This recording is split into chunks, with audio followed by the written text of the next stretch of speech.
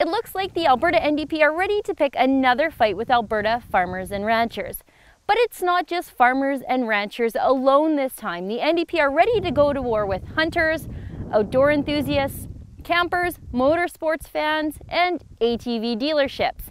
The NDP really widened their net of stupidity this time. What's going to make all these people mad, myself included, as I fall into several of those categories, is that the NDP are going to make changes to the laws surrounding ATV use in Alberta. The NDP are examining helmet laws for both public and private lands and mandatory age restrictions for ATV use. Let me be perfectly clear. If you let your child on an ATV without a helmet, you're a complete and utter idiot. But no government can determine when my child, that I know better than anyone else in the world, is ready for an ATV. That's my job. I'm the parent. Now I'm talking to you from literally the center of Alberta because I'm actually out quadding right now with my family. It's what many people in Alberta do. Some people go on vacation to Jamaica and some people like us do this instead. We spend a lot of money on our machines because they take us to places we could never get to without them. We like to be out here in nature, in the mud, with the mosquitoes, appreciating the parts of Alberta the urban-based NDP decision makers would never ever get to see.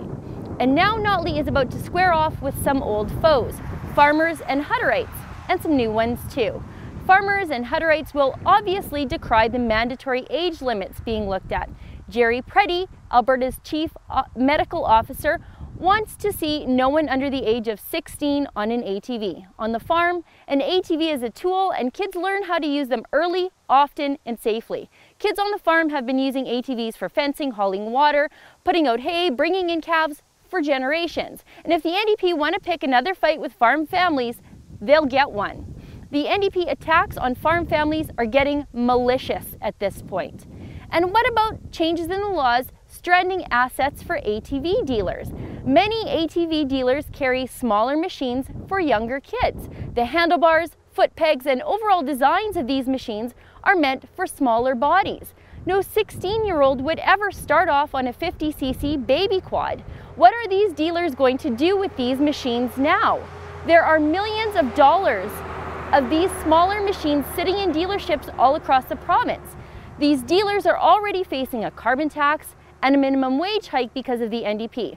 Now the NDP are musing about rendering their assets basically unsellable this is just more unintended consequences for Alberta businesses that the NDP never ever bothered to consider. And what about policing helmet laws and age limits? Alberta is seeing the customary spike in crime and even violent crime that goes along with a bad economy. In fact, Grande Prairie, once a booming northern oil city, is now the most dangerous place in the country to live. Wouldn't these limited police hours be better spent on making communities less violent than trying to police the millions of acres of Alberta's crown lands for ATVers?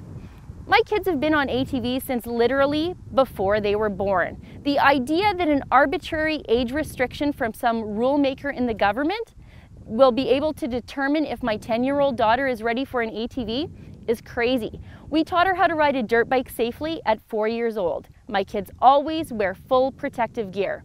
I don't do things to jeopardize their safety, and I don't need Nanny Notley to make sure I'm a good mom. Some arbitrary rule would mean my daughter, with six years of serious ATV experience, would not be legally ready to ride an ATV, and a 16 year old with zero experience would be okay. These are the problems with arbitrary government rules. They don't actually make anyone safer. The NDP say they're going to consult with stakeholders about any law changes.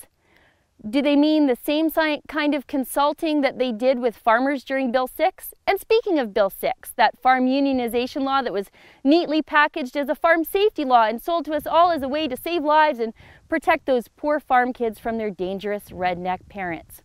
The government would have you believe they care more about your kids than you do.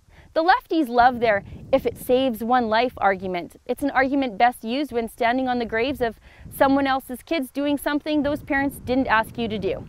The NDP types will spend millions of dollars in public money to make cycling in cities easier to do, but they're throwing up barriers for ATVs. It's pretty clear. The NDP despise rural Alberta. They despise the fact our gas-powered machines make it easier for us to enjoy nature. They despise those people who don't like to do the fancy people things. Not everyone likes to listen to folk music on a patio in Edmonton. The NDP despise people who like to get a little or a lot bit muddy and enjoy this beautiful province. Is this the plan? Are the NDP saving the environment by making sure no one ever goes outside again?